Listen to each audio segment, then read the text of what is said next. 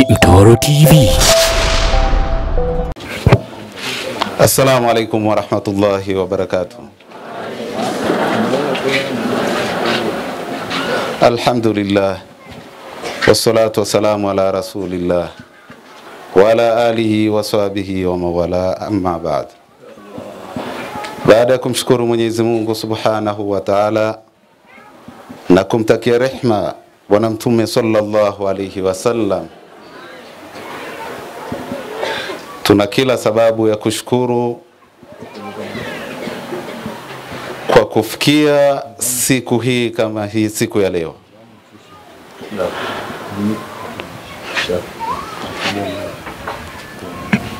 Tuko katika masiku ya Ali Badawi. Ilikuwa siku moja ya Ali Badawi, ilikiitwa Yaumu Ali Badawi, lakini leo ni Yaumu Ali Badawi na kesho ni Yaumu Ali Badawi. Kwa hiyo imet... kwa hiyo imetoka kwenye Yaumu Ali Badawi zimekwenda zikawa Ayami Ali Badawi, na ndo tukaita mahfali. Lakini kabla hatujaenda mbele zaidi, ni vizuri tukafahamiana Yaumu Ali Badawi mahfali.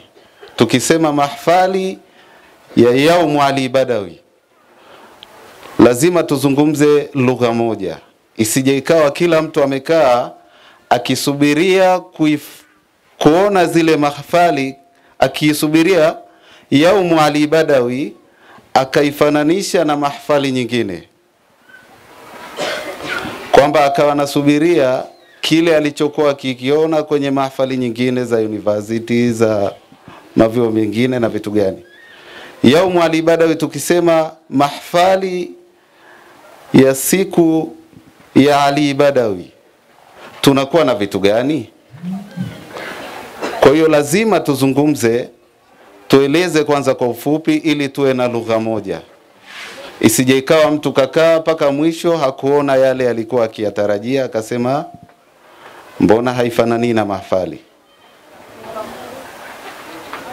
Tukisema Yaumu Ali Badawi, kwanza ni mahfali ya kumi na sita. Vipi mahfali ya kumi na sita?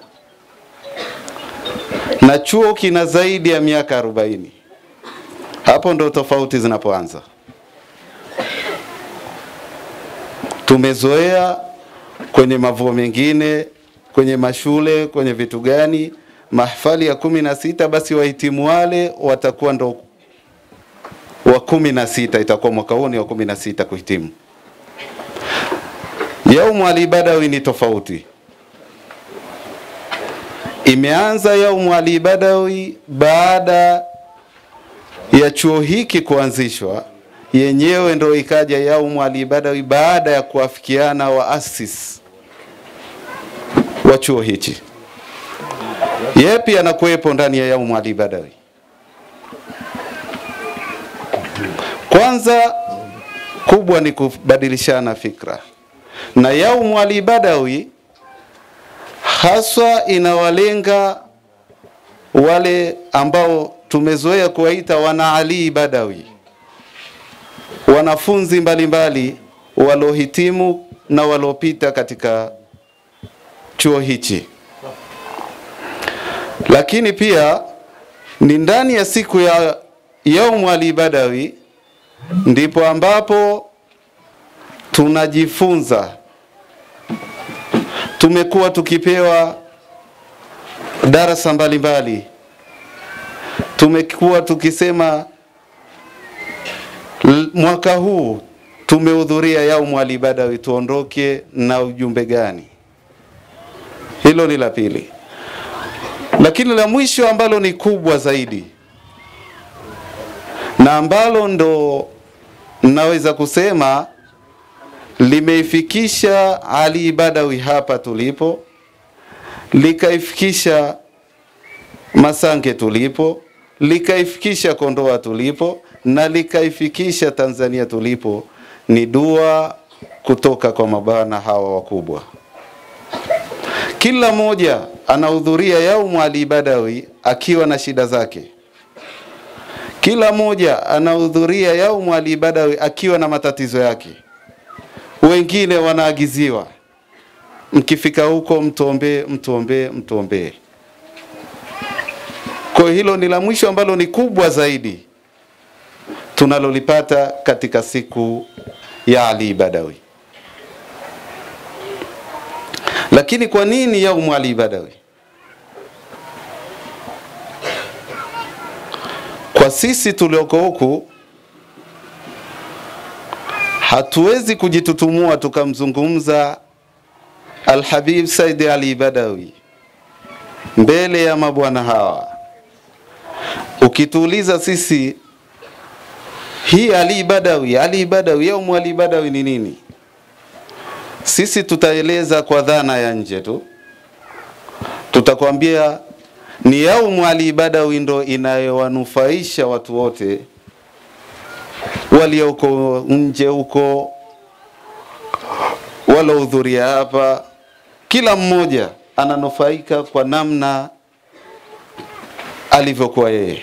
Aliyokuja kwa ajili ya biashara ananufaika, aliyekuja kwa ajili ya dua ndo kama tulivyosema. Kwa hiyo kila mmoja ananufaishwa na siku hini na bwana huyu mkubwa, na ndo ikafikia mpaka ukimzungumza Alhabib Saidi Ali Badawi ukiwa Masange, ukiwa Kondoa, walozaliwa miaka hii ya karibu wanaweza wakasema huyu mzee ni wa wapi, alifariki yuko wapi? Wanahisi ni kama vile ni mtu wa Kondoa, ni mtu wa Masange, namna alivyoenea. Ni bahati yetu sisi tulioko mbali kabisa bara huku tukapata alaka na mabwana wakubwa kama hawa.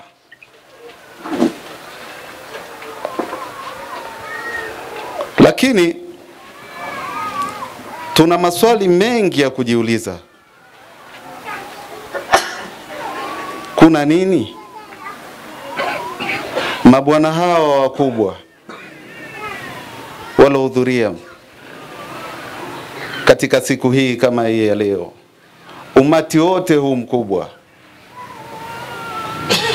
watoto, akina mama, akina baba, kuna nini haswa?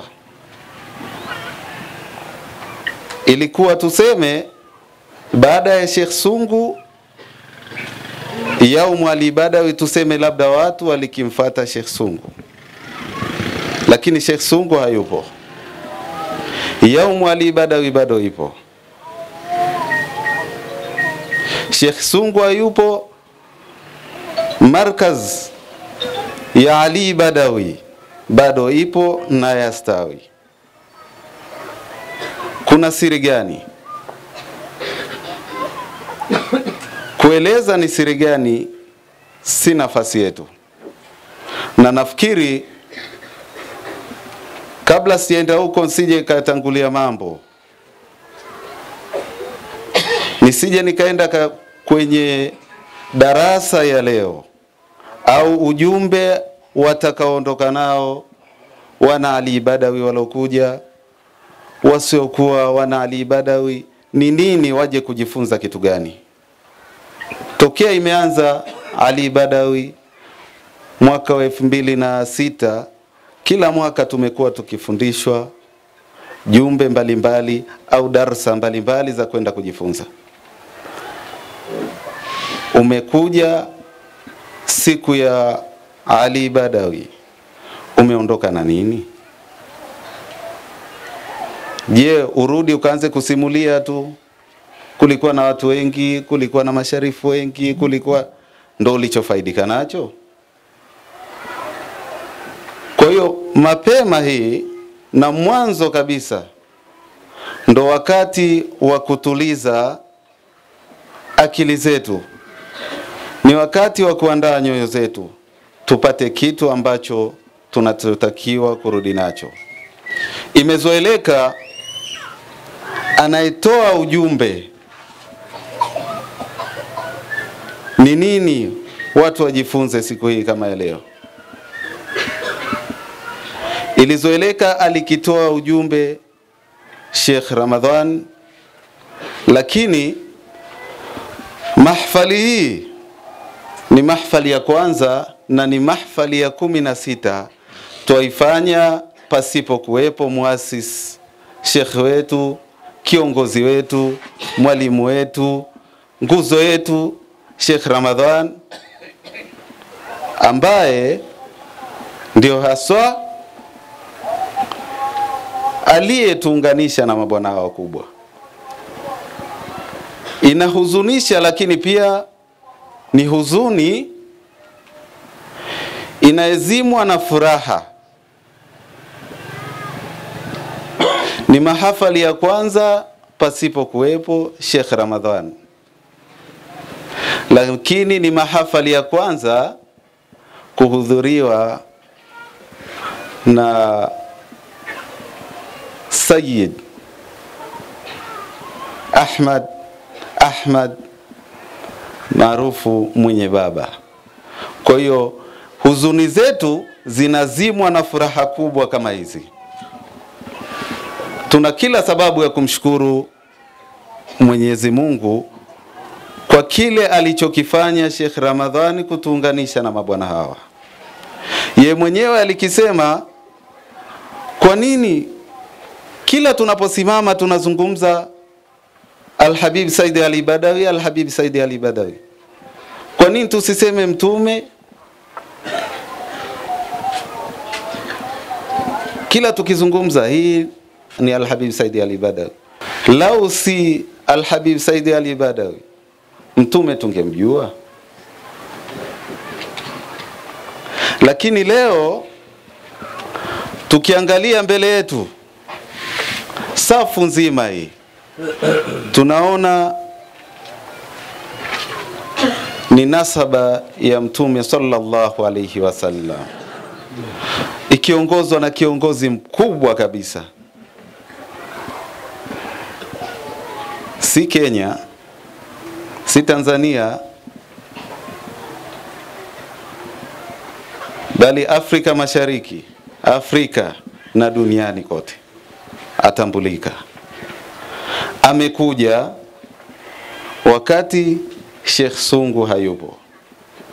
Itoshe kusema sisi tofaidika, tulifaidika na uhai wa Sheikh Sungu, lakini pia bado tofa, tofaidika na mauti ya Sheikh Sungu. Ndio nikasema hii ni faraja kubwa sana. Hatupaswi kusikitika mpaka tukapoteza matumaini, kwa sababu mabwana hawa wakubwa wanakuja, kwa sababu mabwana hawa wakubwa wanatuombea Mwenyezi Mungu. Kwa itikadi zetu twaamini kabisa tutastawi, tutasimama na sisi tukitilia juhudi zetu twaamini tutasimama. Alizungumza Said Muhsin akasema, riadha ilipo haikuanzia pale, wapo asis lakini mpaka leo kuna riadha, na si tulikizungumza mara kwa mara, Madrasatu Ali Badawi ni tawi la riadha. Nini tujifunze leo? Ujumbe gani tuondoke nao leo baada ya kuwa Sheikh Ramadhani hayupo? Walioko mbele yetu watuambie nini? Umati huu mkubwa ni ishara ya kila mmoja kuridhika na kufurahia matunda ya Sheikh Ramadhani Sungu. Yeye alikisema namna gani tumfikirie mtume pasina kupita kwa hawa mabwana, na sisi tunasema namna gani tuwafikirie tumfikirie Alhabib Ali Badawi pasina kupita kwake. Leo hii sisi tunazungumza tunasema hivi, Pasina Sheikh Sungu tungewajuaje hawa? Sasa kila mmoja karidhishwa na tabia na mwenendo wa Sheikh Sungu. Kila mmoja alikimpenda Sheikh Sungu, lakini ni nini kilichomfanya Sheikh Sungu akawa vile?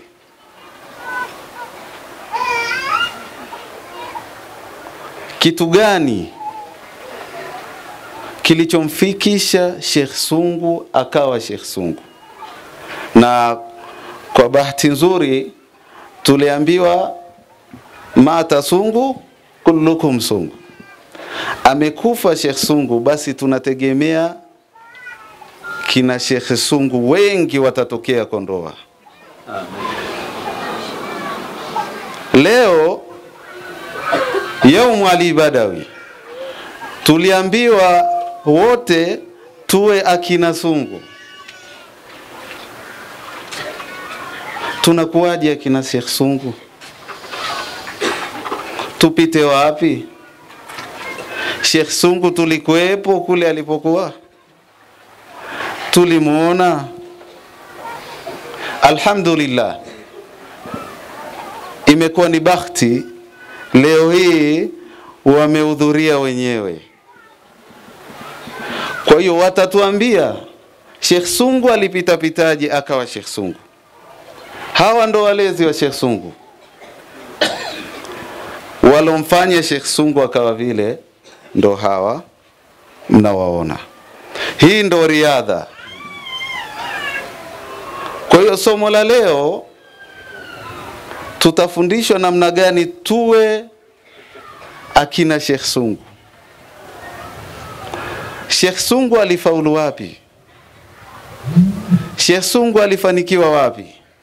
Wapo wenyewe walomkuza, walomlea, walomsomesha mpaka akaja huku.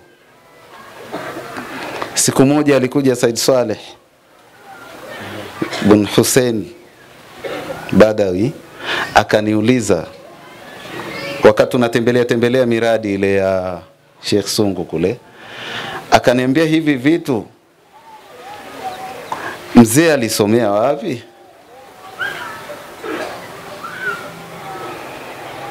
Ilinichukua muda kidogo kujibu, lakini nikamwambia mzee alitokea huko kwenu akaja kuyaanzisha haya mambo hapa. Maana yake niliona lile swali nilitakiwa kumuuliza yeye, haya mlimsomesha kule? Nikamwambia alitoka kule kwenu akaanza akaja kuanzisha haya hapa kwetu. Sasa mimi kwa nafasi yangu leo hii ilikuwa ni kutoa uelekeo na somo la leo litakuwa kitu gani, namna gani, wapi alifanikiwa Sheikh Sungu, nani aseme? Kama tulivyozoea, alikuwa akisema yeye. Leo wamekuja wenyewe, watatuambia ni wapi Sheikh Sungu alifanikiwa, na hilo ndo litakuwa somo la leo. Lakini kwa kumalizia, safu yote ya mbele nimemtaja mtu mmoja, kafatana na nani? Na nyie mnajiuliza wengine ni kina nani? Kwa sababu huyo nilomtaja alikuja mara ya mwisho mwaka jana nafikiri, akasema niombeeni Mwenyezi Mungu nihudhurie siku ya Yaumu alibadawi ya mwaka ujao, na alhamdulillah leo yupo hapa. Kafatana na nani? Watatuambia wenyewe. Kwa hiyo kwa nafasi hii naomba nipeleke maiki kwao, kisha watuambie, watatuambia wamefatana na nani, na baada ya hapo watatusomesha namna gani tuwe akina Sheikh Sungu. na mwisho kabisa tutafanya lile la muhimu na muhimu zaidi, na kwa utulivu mkubwa kabisa tutawaomba watuombee Mwenyezi Mungu. Kwa nafasi hii naomba nirejeshe maiki kwao. Habib, وليتفضل